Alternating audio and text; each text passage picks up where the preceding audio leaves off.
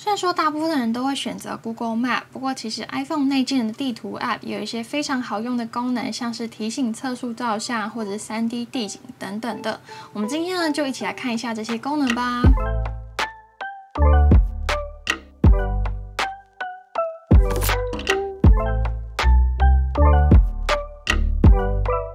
要教大家的就是在 iPhone 上面开启 Apple 地图提醒测速照相的功能。首先呢，我们打开设定，接着呢，我们去找到地图这个选项，在这边选择地图，接着呢，我们往下滑去找到一个选项叫做路线下面的开车，在这边点这个开车。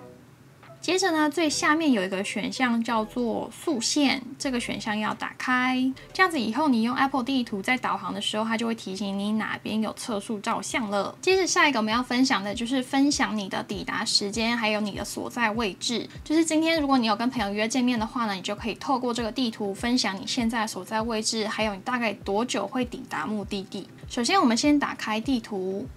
假设我们现在导航到我们的目的地，然后这个时候你看到下方呢有一个视窗，我们把它打开。接着你就会看到下面中间有一个选项叫做分享抵达时间，我们点这个。这边你就可以跟你的联络人分享你的位置啊，还有抵达的时间，然后对方呢也会接到通知说你现在正在跟他分享你的行程。再下一个我们要跟大家介绍的是苹果地图上面飞行俯瞰的功能，也就是以 3D 的方式在空中欣赏地景。当然这个功能呢并不是所有地区都有开放的，不过非常多城市像是台中啊、纽约跟巴黎，或是一些美国的国家公园都有开放。你可以直接到地图里面去查询你想要的城市有没有这个 3D 地景的功能。那使用的方法呢，就是直接到地图里面的搜寻栏输入你想要的城市或是地区。例如说，我今天打巴黎，然后出现这个巴黎的选项，我就点它。然后这个时候，你看到下面会多一个选项，叫做飞行俯瞰。这个功能就是 3D 真实地景。我们点下去，然后就会像这样子，就是出现立体的地景了，非常的厉害。而且你还可以去旋转啊，然后放大，给大家看一下这个巴黎凯旋门的样子。就是它真的做的非常的精致。然后旧金山呢，也有这个飞行俯瞰的功能。大家看到这个桥真的非常的厉害，然后跟这个功能非常像的还有 3D 虚拟地景。不过因为虚拟地景是非常新的功能，所以支援地点非常少。那现在只有四个城市，就是旧金山、洛杉矶、纽约还有伦敦。那使用的方式呢，就是你在这个城市里面，你看到它的景点其实是有特别标出来的，像是这边有一个艺术宫，我就点它。然后这边就会出现一个三 D，我就点三 D，然后它就自动变成这个三 D 地景了。而且这个地景非常非常的可爱，就是很像小小的积木组成的一个地景。切入这个画面之后呢，你也可以跑到其他地方，也会自动变成这种积木感的三 D 地景，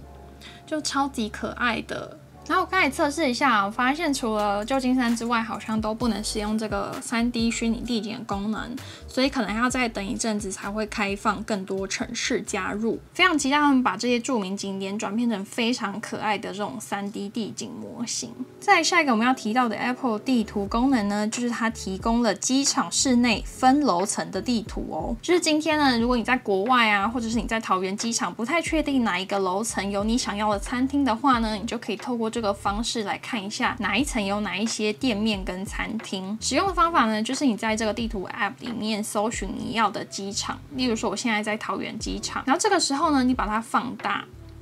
放大到一个程度，你就会看到右边这边出现了一个楼层的指标，然后你就可以去选，例如说它现在停在三楼，那我就点四楼看看这一层有什么，四楼就只有贵宾室。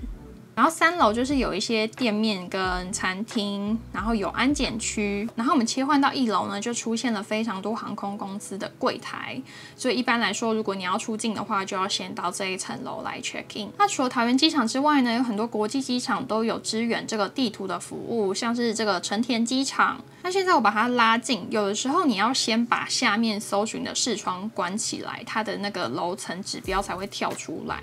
那我现在在三楼。那你就看到它其实是安检区。那我们切换到其他楼层，它就会自动显示每一层楼它的区域在哪里。现在我们切换到四楼这边就有非常多的店面，所以利用这个方式呢，你就可以在国外很快的找到你想要的店了。再下一个我们要讲的就是在 Apple 地图上面调整你要的抵达时间，就例如说你今天可能九点需要抵达某个目的地的话呢，你就可以先在地图上面看一下你通勤需要花多少时间。例如说我现在想要去一零一的话呢，我就先开启这个交通的导航。那不管今天是开车或者是搭公共交通工具，下面呢都会出现一个选项，这边是我的位置嘛，然后现在出发，我们就点这个现在出发，然后这边你就可以设定你的出发时间或是抵达时间，像上面这边呢，你就可以选这个抵达时间，然后例如说呢，我想要在明天的早上九点抵达的话呢，我这样设定好之后按完成。